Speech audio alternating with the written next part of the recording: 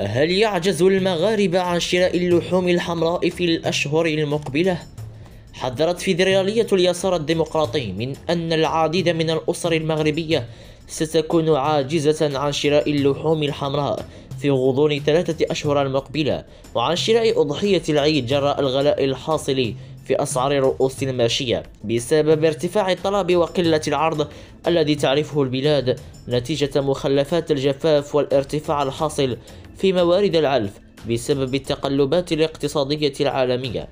وأعلنت فاطمة التمني ممثلة الفيدرالية بمجلس النواب أن المغرب بات أمام وضع متردد للغاية ومن ثم فالمطلوب في نظر المتحدثة هو رسم خطة وتدابير استعجالية لتجن... لتجنيب المواطنين أزمة اللحوم الحمراء والغلاء المتزايد في أثمانها والذي يفاقم من حدة الأزمة والغلاء المنتشرين في كل مناحي الحياة.